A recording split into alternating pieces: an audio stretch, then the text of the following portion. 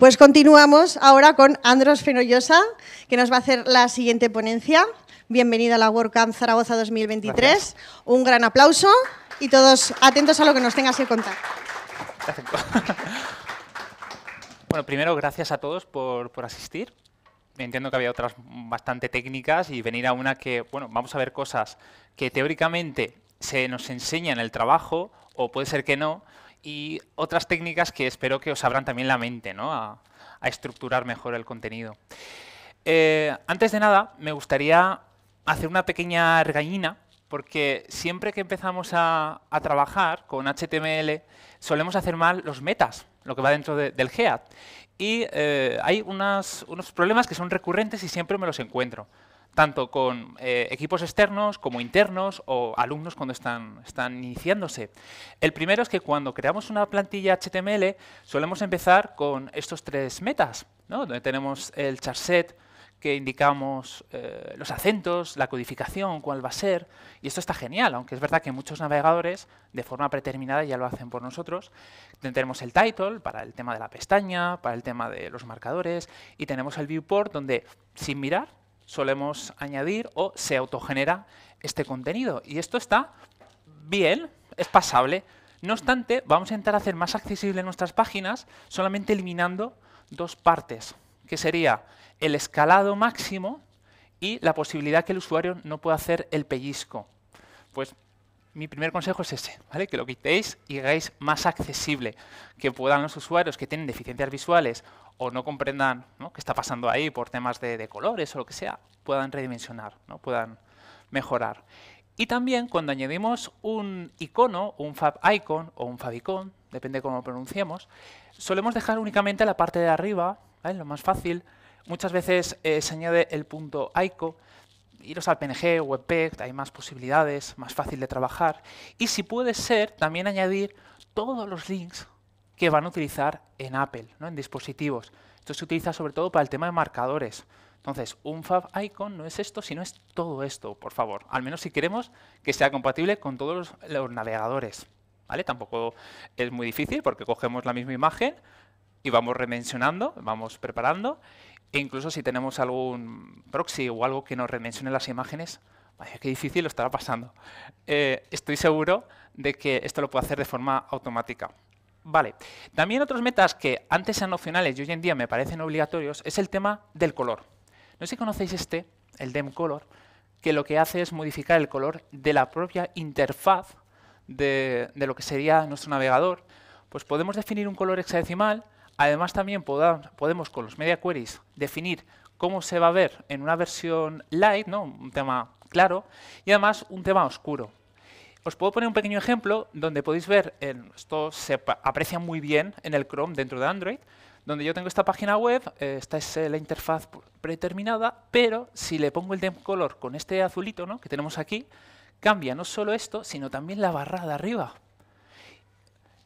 Funciona también en iOS, aunque los colores están un poco más delimitados, sobre todo por el tema del contraste de colores, que no siempre coincide, pero bueno, no cuesta mucho y queda como más integrado nuestra página. También se nos olvida muchas veces añadir los metas relacionados con las redes sociales. Vale, ya acabo enseguida la regañina. Cuando estamos intentando que nuestro contenido se pueda compartir, necesitamos especificar cómo se va a mostrar. Y eso se hace rápidamente con el Open Graph y con estas cuatro como mínimo podemos indicar qué imagen va a ser la previa para que no coja la primera imagen que encuentre en la propia página, cuál va a ser el título, qué tipo de contenido nosotros vamos a mostrar y por último pues un enlace alternativo en el caso que hubiera problemas o no quisiéramos que eh, redireccionaran aquí. Y esto podemos verlo, un clásico ejemplo, yo estoy dentro de Facebook, comparto mi, mi enlace, no se ve absolutamente nada, Puede ser que coja pues lo primero, la primera imagen que vea. Esto era muy típico eh, con la página del mundo. Me acuerdo que una vez compartí un enlace de un, tema científico y aparecía la foto del rey. Y yo, ¿qué está pasando aquí? Y claro, no tenían esos metas. Entonces parece que había un artículo arriba ¿no? que hacía referencia. Y si nosotros especificamos, fijaros, tengo la imagen, tengo el título, tengo la descripción. ¡Jo! ¡Qué cambio, ¿no?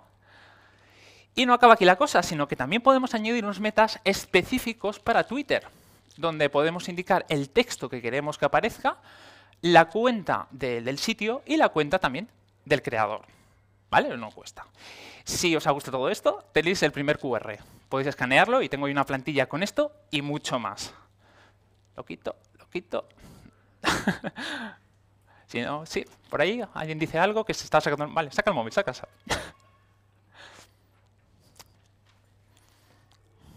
Pues le hace una foto.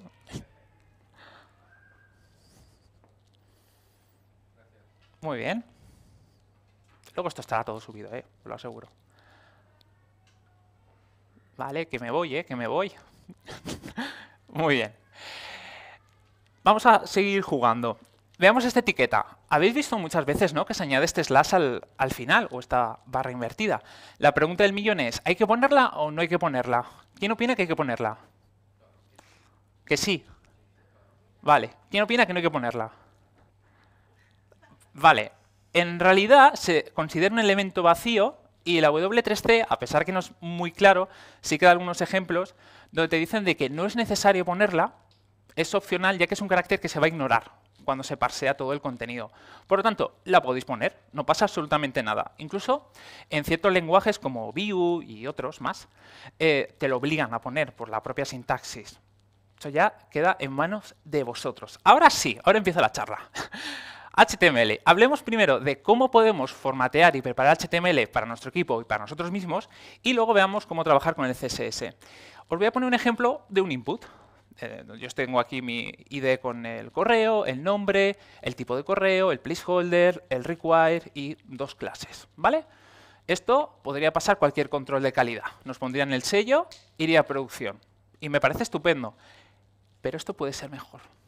Podemos, por ejemplo, añadir unos saltos de línea cuando tengamos más de dos atributos, quedando una columna que es mucho más fácil de leer. Un poquito mejor. Y además añadimos que el primer atributo también tenga un pequeño salto de línea, tenga, como veis, tenemos aquí una tabulación o cuatro espacios, esta no es la charla de qué es mejor, sí, cuatro espacios de tabulación, y añadimos que el cierre o el mayor que esté alineado con la apertura del menor que, quedando de esta forma. Y ya lo tendríamos mucho mejor. por lectura, porque es más fácil editar, yo puedo mover estas líneas de arriba a abajo, puedo rápidamente ver si estoy repitiendo alguna. ¿Y puede ser mejor esto? Sí, lo puede ser. Cuando tengamos más de dos valores en un atributo, también podemos repetir esta, estrategia. ¿no? Tengo la comilla aquí que cierra. Y yo creo que ya está, ¿no? Esto ya más no se puede. Bueno, sí, se puede. Un comentario podemos añadir una pequeña descripción de qué es, podemos añadir los estados o las diferentes clases que no estamos sabiendo aquí, pero que van a alterar el diseño o le va a dar funcionalidades o va a tener un dataset, o perdón, dataset, un, un, data que le va a poder dar ciertos eh, atributos, ciertas propiedades, pues también lo podemos describir de esta manera. Y bueno, y tengo en este QR más ejemplos de otras formas que podemos formatear el HTML, ¿vale? Continúo.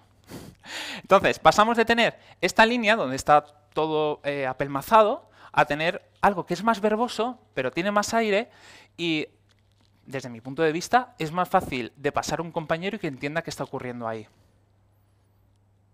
Luego nos podemos, si queréis, nos pegamos y fuera y defendemos si es mejor una cosa o la otra. Esto es una tabla. Está bien, ¿no? Tiene table, tiene el tr, tiene el th, donde tenemos el título, tenemos el resto del td. Esto está perfecto, ¿verdad? Está, perfecto, pues ya está. Vamos a verlo en el navegador. Uy, ¿qué ha pasado aquí? Ha añadido un tbody aquí, pero ¿dónde ha salido? Pues lo que está ocurriendo es que el navegador lo primero que hace es decir, tú eres un ser humano, no te creo, voy a arreglarte tu código. Entonces, te añade esto. ¿Por qué? Porque en realidad deberíamos tener en la tabla un tgapp, que al final es una etiqueta que le está dando una sintaxis, un contenido, está definiendo dónde empieza y acaba cada una, y también un tbody para decir dónde está el jugo, dónde está la información importante. Y siempre habría que hacerlo de esta manera, independientemente de que el diseño sea en vertical o sea en horizontal. Quiero decir, que los títulos lo tenemos en la parte de arriba o lo tenemos en un lateral. Esta es la estructura y luego ya con flex o con grid lo movéis como lo queráis. Pero hay más etiquetas de contenido. Tenemos, por ejemplo, header. Bueno, muchas de estas ya las conoceréis. Un breve repaso. El header sería la parte de arriba, donde tenemos el logo, donde tenemos el menú principal, donde tenemos el contenido que se va a repetir en cada una de las páginas. Tenemos también el main, que podría ir acompañado del header, donde va a ir de verdad el contenido, ¿no? lo que nos interesa que cambie dinámicamente entre página y página. Y tenemos el footer, que va a ir a continuación del main. Perfecto. Por cierto, dentro del footer no debería haber la etiqueta nav. Ahora luego hablamos. En el main, al ser un contenido muy amplio, normalmente no se define o no queda claro dónde empieza y acaba cada sección. De ahí que tengamos sección. Nav puede ir acompañado dentro del header o en alguna otra parte, como la site. Sirve para definir dónde está el menú. La estructura básica sería nav, ul, li, a. Salvo ciertas eh, variaciones, como puede ser las mías de... nav, ul, li, a. Me vas a matar, lo siento. si tenemos un texto que indica el tiempo, como puede ser lo típico, una fecha y una hora, lo envolvemos con time.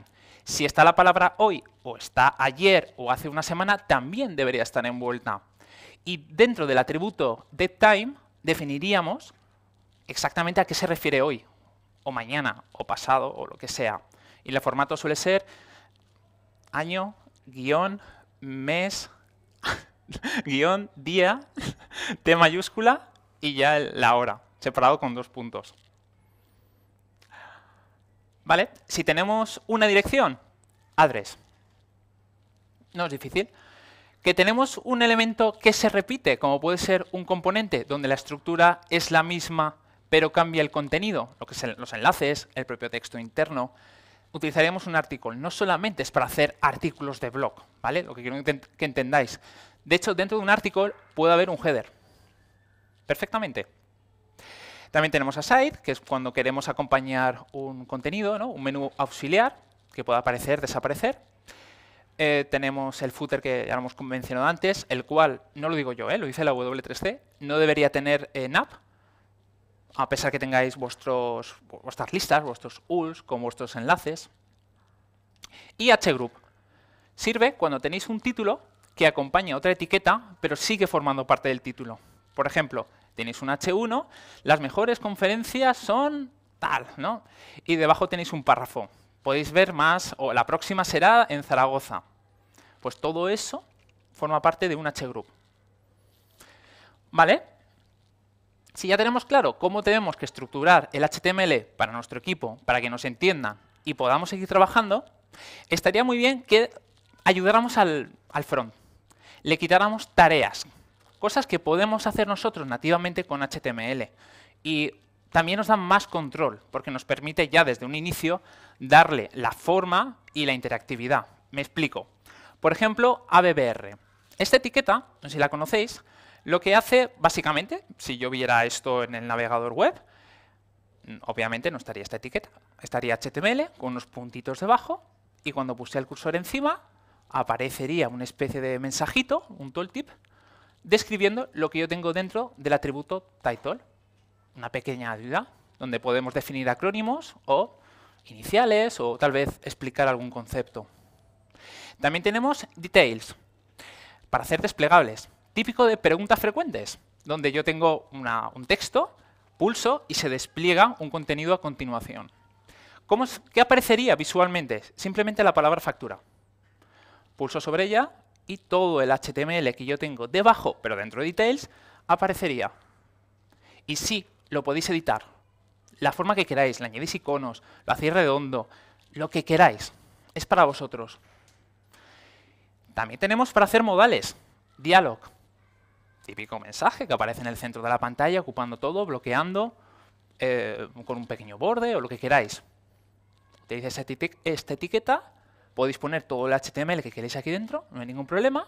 Por defecto, si yo no pongo el atributo open, va a tener un, display none. En cuanto yo añada esto, open, vuelve a salir. Ya tendríamos que gestionarlo con JavaScript, ¿no? cuando queremos que aparezca ese atributo. Incluso también podemos jugar con, CSS. Vale, tenemos eh, data list. Cuando queremos hacer un input en el cual nosotros sugerimos autocompletaciones, qué textos van a aparecer, podemos simplemente definir una especie de selector, un data list con option, se parece mucho a un desplegable, ¿no? la estructura, donde vamos poniendo en los values cada uno de los textos que queremos sugerir según se vaya escribiendo en este input y lo vinculamos con su atributo ID. ¿Veis aquí que tenemos el atributo list? Bueno, pues esto iría relacionado con esto.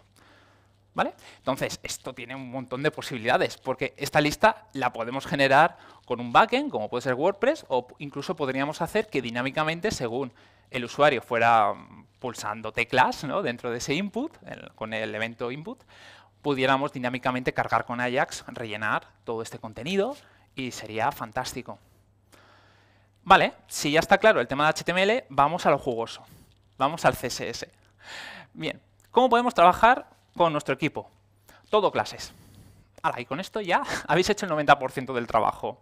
Intentemos diferenciar de las IDs, o sea, la ID, donde tendríamos eh, una referencia única que nosotros utilizaríamos con JavaScript para capturar cada uno de los elementos, y luego tengamos las clases donde nosotros vamos definiendo los estilos. Si hacemos esa separación, no debería haber ningún conflicto dentro del equipo. Mm, claro, si tenemos que añadir clases, llega un momento en que cada uno le da el nombre que cree conveniente, y eso es un problema, porque habrá gente que es más original y otra gente pues, que no la es. Entonces, las tres formas o las tres nomenclaturas más populares es eh, CSS orientado a objetos, donde mm, bueno, crea una especie de, caparazón donde vas añadiendo, vas añadiendo como modificaciones. Luego tenemos Smash, se pronuncia así, ¿eh? lo he leído en la documentación, Smash, que lo que hace es justamente todo lo contrario, intenta que todo sea homogéneo, que no exista eh, barreras. Y luego tenemos el famoso BEM, que por cierto está desarrollado por el equipo de Yandex, donde intenta separar todo en bloques, elementos y modificadores. De hecho, tiene muy pocas reglas. Por cierto, si queréis escanear ya el QR es el momento donde tengo una explicación un poco más larga de BEM. Eh, la clave está en que tú tienes, por un lado, bloques, que sería el componente o la estructura, que, es única. Tienes, por otro lado, lo que serían los elementos, que son las cosas que están dentro de ese bloque, de ese componente. Luego, eh, la forma de nombrar un bloque respecto a su elemento sería con dos guiones bajos y entre un elemento y su modificador irían dos guiones simples. Yo creo que esto se ve mejor con un ejemplo. Entonces, aquí tenemos dos bloques. Uno que es cesta, ¿vale? que dentro va a tener diferentes bloques con, elementos, con items, y dentro del, bueno, he dejado solamente uno, tengo el bloque de item, un elemento dentro. Y claro, ¿qué hay aquí? Pues tenemos el elemento de nombre, y el elemento de precio. Y como veis, tengo item, guion bajo, guion bajo nombre, item, guion bajo, guion bajo precio. Y solamente viendo las clases se puede intuir qué hay dentro de cada uno. No me haría falta llenar, como veis aquí, cada uno de los comentarios. Yo sé dónde empieza y acaba. De hecho, muchas veces cuando yo hago HTML, directamente pongo clases que son innecesarias, simplemente para que eh, la persona que lo va a leer entienda, entienda, ¿no? ¿Qué espero que haya ahí? ¿O por qué lo he puesto? ¿Cuál era mi intención? Si yo quiero crear un modificador, ahora vamos a ese concepto, si yo tengo un botón donde todo mi sitio web tiene la, misma, el mismo diseño, pues tiene un borde, eh, el fondo es transparente, el texto tiene un color determinado, pero es que resulta que hay un botón, el de comprar, que es verde. Entonces, ¿qué hacemos? ¿Volvemos a repetir todo el contenido? No hace falta. Vuelvo a utilizar la clase de botón y añado una segunda, que por cierto, en el orden de la cascada debería estar debajo para que sobrescribiera, donde yo le pongo guion guion verde. Y solamente modifico aquí, pues tal vez el, color del borde y el color del propio texto y ya está. Y con esto podemos crear todas las modificaciones que creamos necesarias. Muy bien. y además es muy cómodo hacerlo, pero si utilizamos un metalenguaje como puede ser SAS, será aún mejor. ¿Quién de aquí utiliza SAS en su día a día? Uy, qué pocas manos. ¿Y quién utiliza solamente CSS? Tenéis que aprender ya. o sea, cuando salgáis de aquí, iros a SAS, por favor. Tiene cosas muy interesantes. Por ejemplo, podemos importar otros elementos desde el, propio fichero Y me diréis, pero eso ya se puede hacer. Yo ya puedo en CSS normal importar.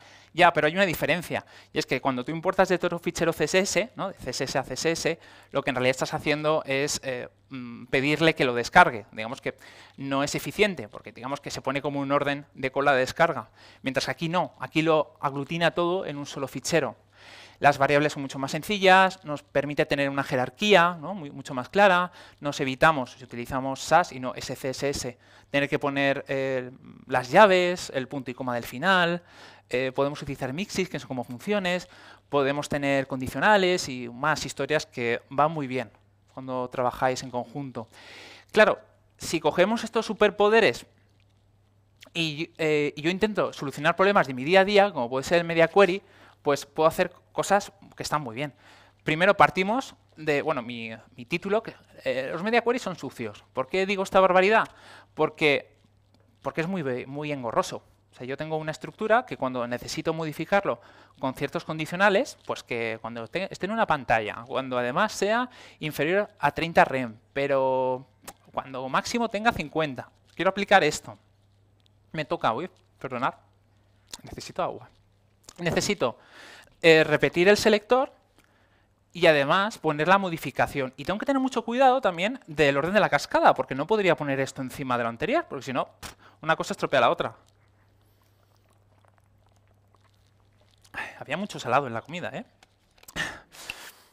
Bien. Entonces, ¿cómo puedo mejorar esto con SAS? Así de sencillo. Me evito repetir el selector. Yo lo que hago directamente es tabular, poner mi siguiente contenido y, queda todo más, más bonito, más fácil de trabajar. Pero esto puede aún mejorar más y es utilizando mixins, no lo voy a enseñar, donde tú puedes crearte una estructura la cual simplemente con un nombre que tú te defines añades esto de forma automática sin tener que estar repitiéndolo constantemente. ¿Y por qué no os enseño ese ejemplo? ¿Porque soy malvado? No, porque voy a dar algo mejor, que es trabajar con el tema del split media.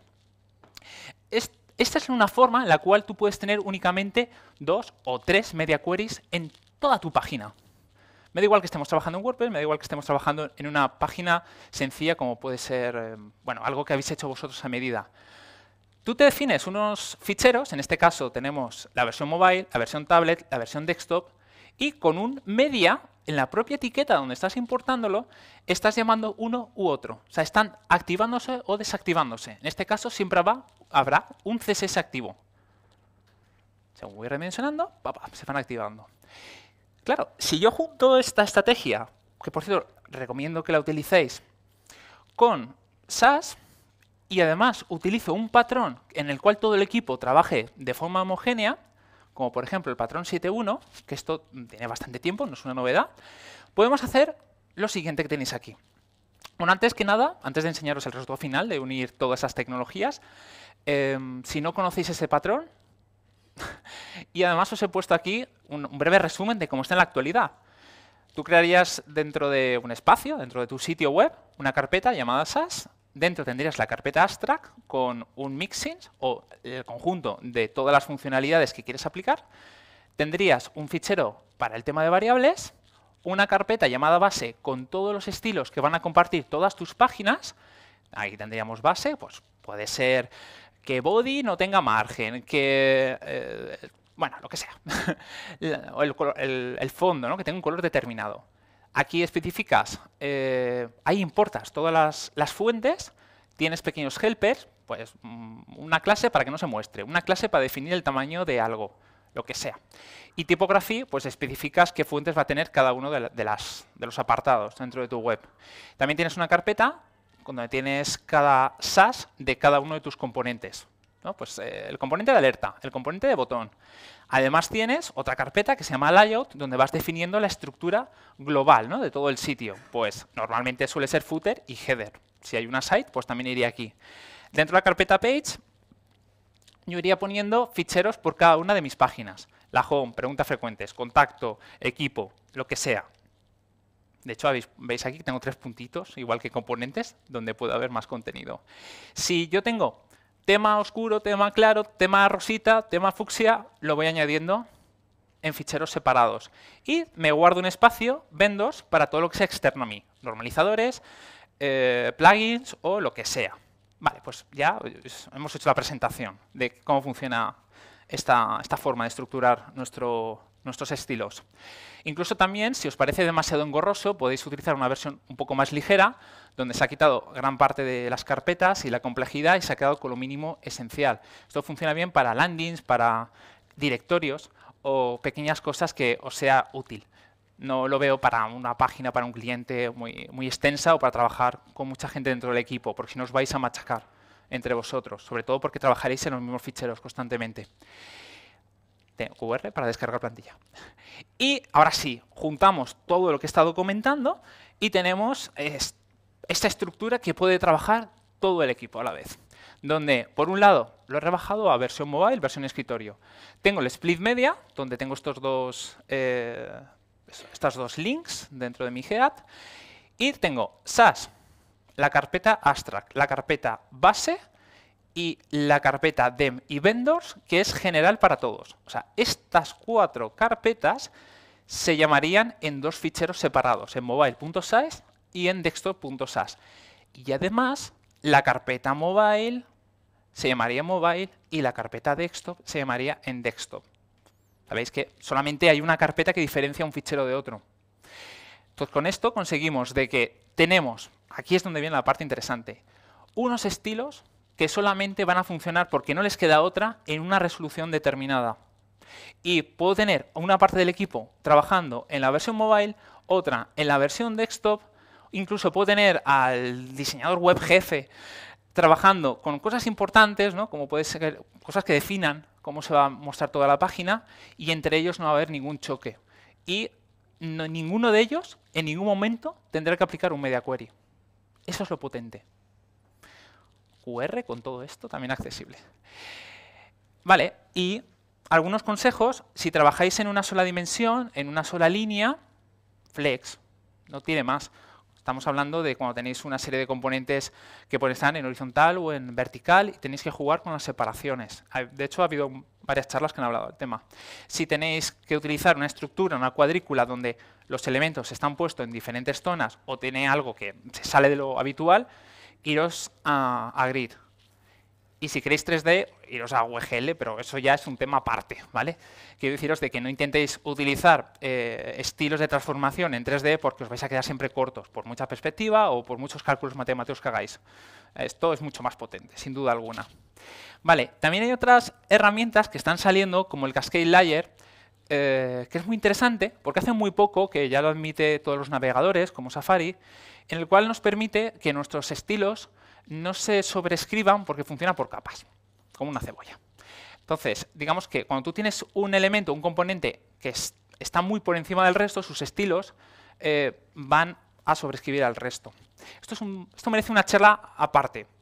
No obstante, yo de momento no recomiendo que lo utilicéis porque con lo anterior también tenéis suficiente. Aquí no vais a tener problemas de que tendréis que machacar con importance o tal vez tenéis un fichero aparte.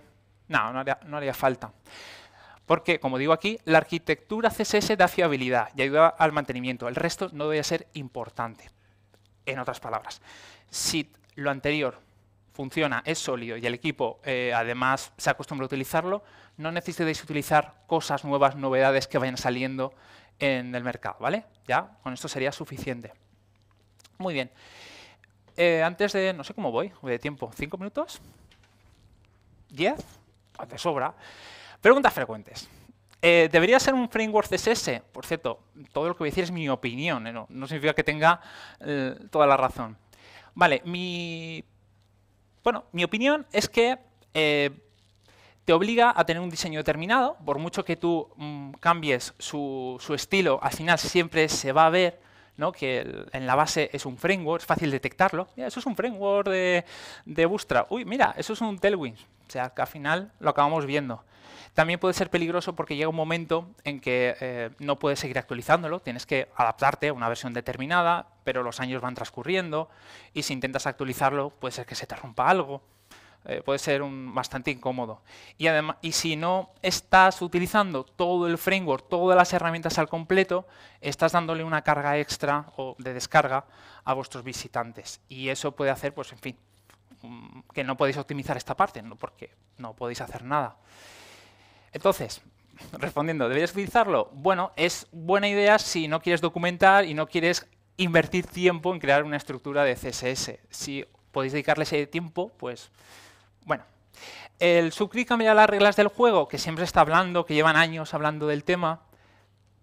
Eh, no.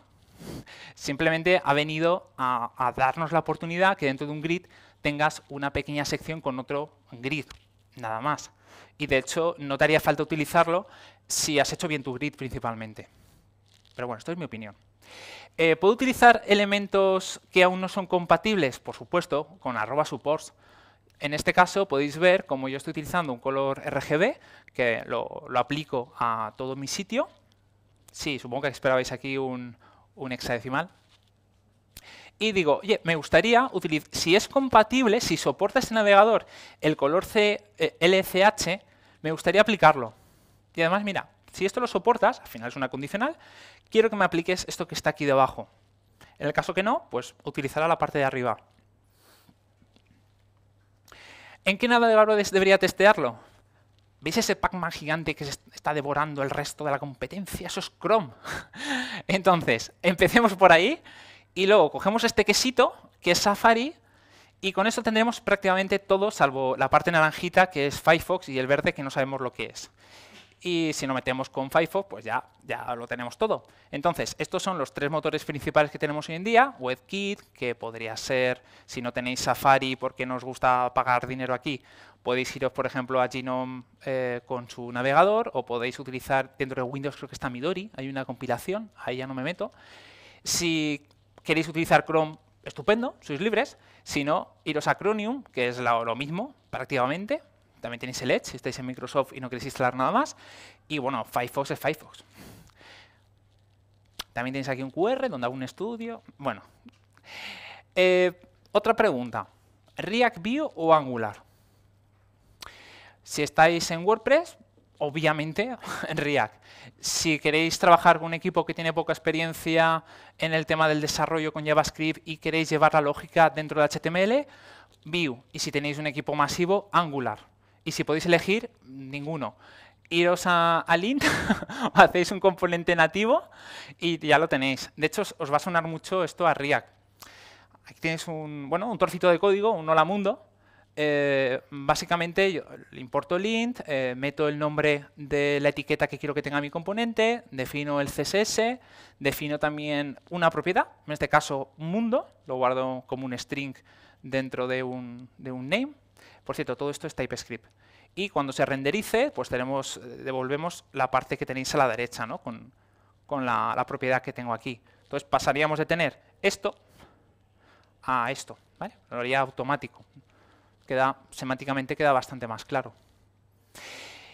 Y también si podéis, esto ya es una sugerencia mía que me ha gustado mucho, eh, tanto a nivel personal como dentro del equipo, es utilizar Stimulus para eh, gestionar el tema de los eventos. Porque además, si volvéis a renderizar el mismo contenido, en caso de un HTML sobre WebSockets, podríais, esto lo autogestiona, eh, evitando que haya repetición de, cuando conectas un elemento.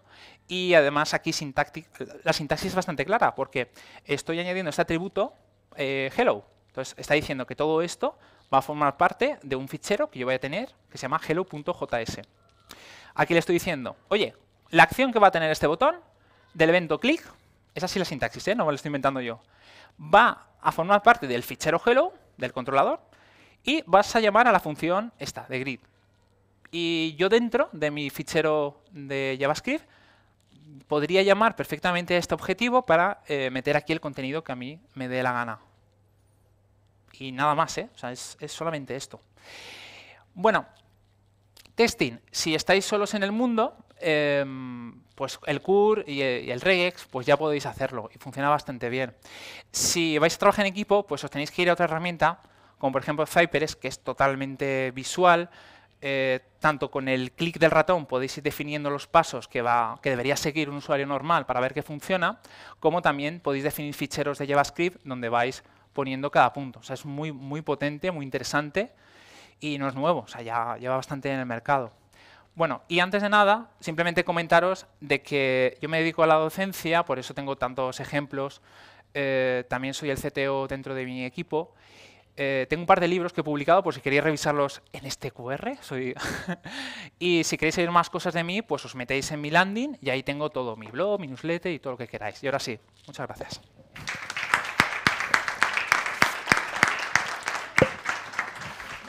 Y acepto preguntas. Y si no, no pasa nada, ¿eh? No me siento ofendido. Hola, ¿qué tal? Hola. Eh, yo quería preguntarte, con, al margen de todas las eh, funcionalidades y los diferentes lenguajes que has explicado o frameworks, ¿cuál es el IDE que tú recomiendas eh, para programar en tanto HTML, CSS, etcétera, o SAS en, tu computadora, nada más que eso? Pues yo utilizo Emacs, y, pero no se lo recomiendo a nadie. O sea, que decir, eso es un...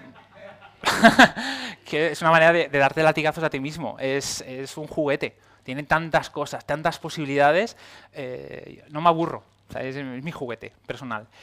Eh, pero para alguien que está empezando, para un alumno, yo le recomiendo que vaya a JetBrains, eh, a la suite, PHP Store, a, a Web Store y todos estos. Y bueno, siempre está Visual Code, por supuesto. Gracias por la pregunta.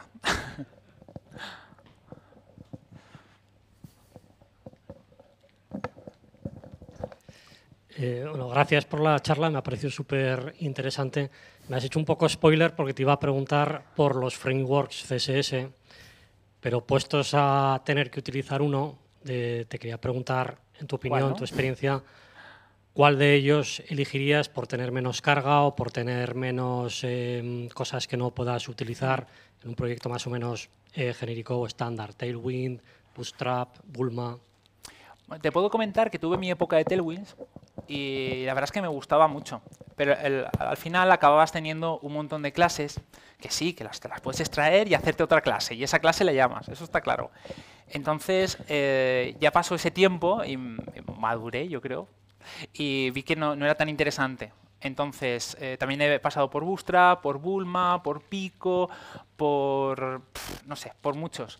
Y no te sabría responder. Es que ya he llegado a un punto en que prefiero no utilizarlos porque he visto que antes tenía mucha más utilidad, sobre todo el tema de compatibilidad entre navegadores, eh, te solucionaba el tema del responsive, bueno, lo siguen haciendo.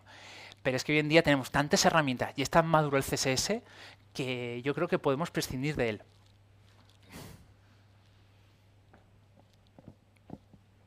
¿Sí? Ahí.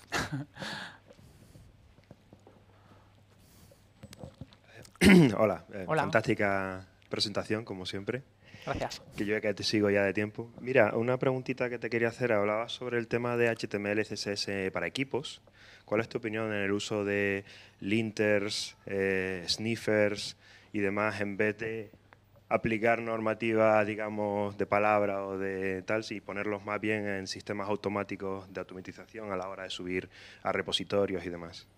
Pues es muy buena pregunta. O sea, la es, yo creo que la pregunta sería más, ¿Quién tiene que hacer la revisión, el core review? ¿Una máquina que, se, que te asegura que está bien todo o lo tiene que hacer un ser humano? Nosotros actualmente preferimos que lo vea alguien, por lo de siempre, porque así la responsabilidad está en los dos, en quien se ha equivocado y en quien ha tenido que revisar. Y también porque puede haber un trato directo. Muchas veces, eh, a veces dan un mensaje que no entiendes o lo aprendes a sortearlos y entonces al final no sirve para nada y también ayuda a que haya lazos dentro del equipo, que haya más comunicación. Entonces, te podría decir que técnicamente hablando deberíamos utilizarlos, pero personalmente creo que une más el equipo no hacerlo. Gracias. Muy buena charla, ¿eh, Andrés? Gracias. Una pregunta. Em, ¿Existe algún servicio o mm, algo que te puedes instalar? Por ejemplo, Em, cuando has preguntado quién utilizaba SAS y CSS, había mucha gente que todavía utilizaba CSS. Y yo creo que una de las limitaciones es porque el SAS lo tienes que acabar compilando al final para que te devuelva el fichero final. Sí, hay que preprocesarlo. No sé si existe, por eso te pregunto, alguna herramienta, alguna, alguna cosa que sea desatendida que tú tengas instalada en tu aplicación web y que hagas los cambios que tú consideres en tu fichero SAS, guardes, te olvides y eso por detrás te precompile y te, te genere el fichero final para que no te tengas que montar, o sea, desplegar todo el entorno local, poder hacer los cambios y tal que cual, que yo creo que es algo que es lo que le frena a mucha gente porque aunque el cowboy coding no esté bien visto, no podemos negar que se utiliza y se seguirá utilizando a día de hoy porque es lo más cómodo. O sea, lo hacemos todos al final. Totalmente de acuerdo. Tienes razón de que es una barrera de entrada. Implica muchas veces meterte con el terminal. Por suerte, hoy en día tenemos interfaces gráficas. Por ejemplo, PrepPros es una de ellas, aunque hay más software, WIS, ¿no? que te lo hacen ya. Incluso te compilan TypeScript, eh, React. Eh, no obstante, tienes otras herramientas que es verdad que tienes que usar el terminal, como Parcel, que directamente eh, lo que te hace es te detecta que tienes ahí el fichero SAS y ya te hace tu build. Y lo que nosotros hacemos que no, no soluciona lo que tú estás diciendo es hacer un fichero gulp, o sea, que una tarea, ¿no? que, que, ya lo tenemos la plantilla, simplemente lo arrancamos, detecta, detecta, que hay un cambio, refresca, ¿no? también envía al navegador que ha habido un cambio, pero yo creo que tiraría más por la, la quiz, estas. Sí, sí, sí, sí. Gracias. Gracias a ti por la pregunta. Pues creo que ya no hay más preguntas. Muy bien. Gracias, Andros, por supuesto, por la, por la charla tan interesante. Eh, gracias por venir a la WordCamp 2023, por formar parte de ella. Y te vamos a hacer eh, la entrega de la Super Taza WordCamp 2023.